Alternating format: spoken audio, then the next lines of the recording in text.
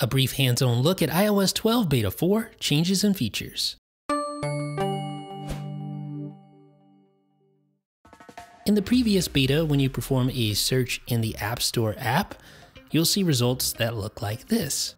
Pretty much what you would expect, but in iOS 12 Beta 4, your results will look like this. So now you get results that include developers and stories.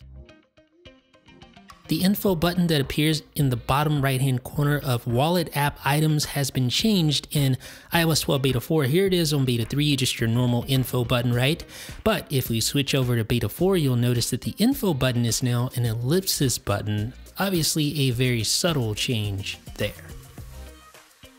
In the previous data, your mobile data usage under the cellular panel in the settings app was sorted in alphabetical order. But in iOS 12 beta 4, it's now sorted by usage, which makes a lot more sense when you think about it. So now your most used app from a cellular data perspective is going to be at the top.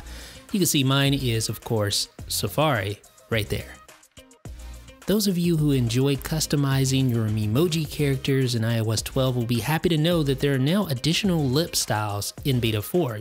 So you saw you had six lip styles to choose from in the previous beta, but now if I scroll up here, you're going to see nine lip styles.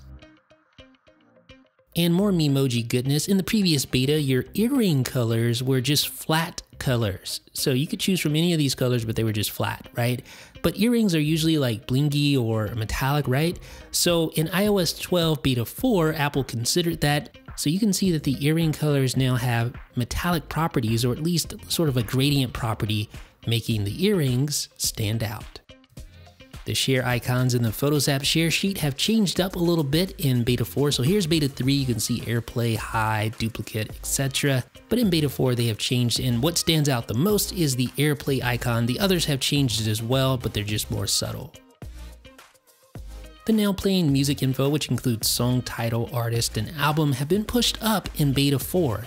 Yep, in beta 4, indeed, you can see that the music info is closer to the timeline. The Voice Memos app has its settings slightly altered in beta 4, so here's beta 3, you can see default name, you can choose between current location and recording number, but in beta 4 it's been simplified with a location-based naming toggle. Now here's beta 3's battery settings panel. In the settings app, you can see at the bottom there is no explainer, but if we switch over to beta 4, you can see the explainer text at the very bottom of the battery settings.